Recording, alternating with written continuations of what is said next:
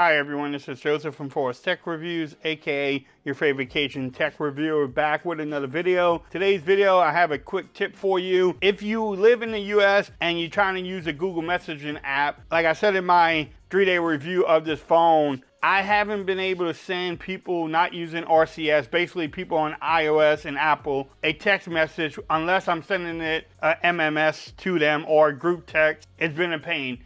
Every time you try to send it, it will try to ask for payment unless you type in like one word. Shout out to someone from XDA. I'm gonna call him Mr. Galen. I'm gonna have the link in the description so that way you can see his post in there and get his full name. But I haven't seen someone do a video on it, so I wanted to make a video. I've been using it for about a day now and I have restarted my computer. I mean my phone, I have powered the phone off and it still works when you turn it back on. So it's not like you have to go back in there and turn it on every time you turn off your phone. You do have to turn on developer options, which I will show you how to do that really quick too. But let's get into it. But look, look at her. Mm. Look at that form factor too. So if you hear, if I'm trying to send a message right now, right to my daughter, and I and I'm just saying trying to be helpful. And if I try to send it right now, you get this message right there. At least on T-Mobile, I get it.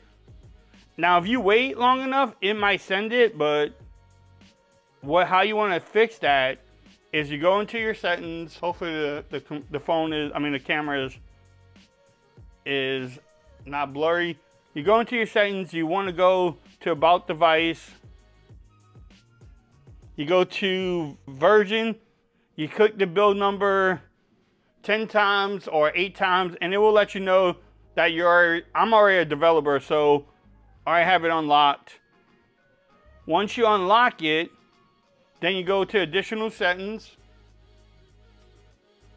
you scroll down to where you see developer options, which wasn't there before. And here you want to scroll all the way down to apps.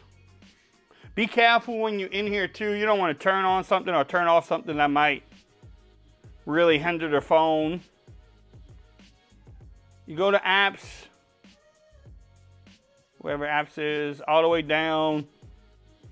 Now, I don't even know what this does or anything, but right there where it says disable permission monitoring, if you turn that on or if you disable it, now I'm gonna go back and type the same thing.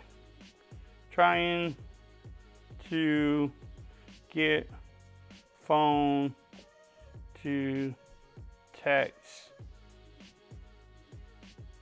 Boring iPhone users. And now, instead of waiting, it actually has it on there if my, my phone wasn't so bright. As you can tell, it sent it. Now, my daughter probably will reply with something mean, so, but that's pretty much it. If I restart my phone, if I turn it off for a few hours, that will stay turned off, so it actually works. I've been sending messages, testing it out. This is just a quick way of sending messages, especially if they're on iPhones. You don't have to worry about going back to the default app. If you like this video, give it a thumbs up. If you haven't subscribed to the channel yet, make sure you do so. Also, make sure you follow me on Twitter at Forbes Reviews. Become part of the BAM Nation. And until next time, peace. I'm out. Hopefully this video helped y'all out. Later.